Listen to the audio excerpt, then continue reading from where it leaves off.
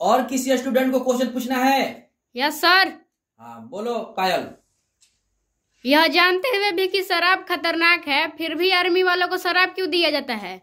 बहुत अच्छा प्रश्न है।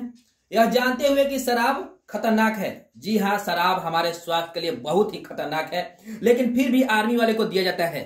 क्यों?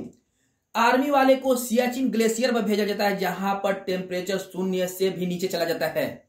आर्मी वाले को वह उस जगह पर भेजा जाता है, रेगिस्तान में भेजा जाता है, जहाँ पर टेम्परेचर बहुत ज़्यादा होता है। आर्मी वाले को अपने परिवार की याद ना आए टेम्परेचर को सहने की कैपेसिटी हो सके, इसीलिए उनको शराब देना ज़रूरी हो जाता है। लेकिन उनके शराब में ज़्यादा नाशा नहीं होता है, उनका शराब ज़्यादा नाशा नहीं करता है। और यह जो आम शराब होता है ना, कुछ बेवड़ों को मैं देखा हूँ, पीकर बगल वाले को गरियाता है। कुछ बेबड़ा पीकर नाली में सुतल रहता है, कूता उसको सूंघते चलता है। आर्मी वाले शराब और यह आम शराब में एक शेर और कुत्ता का अंतर है। एक घटना है, एक छोटी सी में एक घटना है, एक बेबड़ा था, शराब पी लिया था। बम बम बम बम चिल्ला रहा था।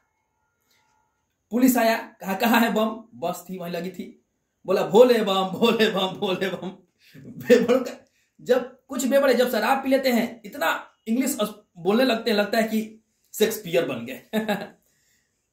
शराब हमारे शरीर के लिए बहुत ही हानिकारक है। ना ही पिया जाए तो बेटर है, लेकिन आर्मी वाले को तो मजबूरी है। देना है, ताकि उस टेम्परेचर को सह सके। ओके और किसी को कोई प्रॉब्लम है? Any student